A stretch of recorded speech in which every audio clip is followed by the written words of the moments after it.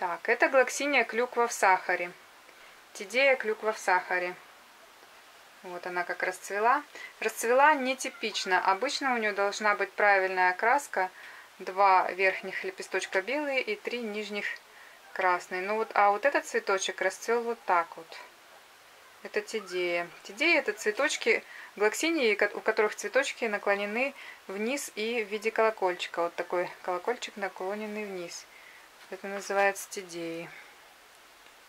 Вот она. Ну, компактная, хорошая розеточка у нее всегда. Это вот у меня розетка немножечко заваленная, видите, как ей бы поглубже сидеть, но она у меня вот так получилась. Ну, даже вот в таком виде, и то она хорошо смотрится, эта розеточка. Вот какая клюква в сахаре. Когда я приобретала для себя этот сорт, ну, мне, конечно, предупреждали, писали, что да, сорт, конечно, очаровательный, это сорт Елены Савеловой, но э, может не передаваться через размножение листиком. Желательно размножать как бы делением клубни, клубня. Ну, никогда, вот сколько я выращиваю, уже много лет эту клюкву в сахаре, у меня никогда не было так, чтобы листик не передал сорт, всегда передавал. Вот за, за все время вот этот первый и единственный цветочек, который расцвел не по сорту.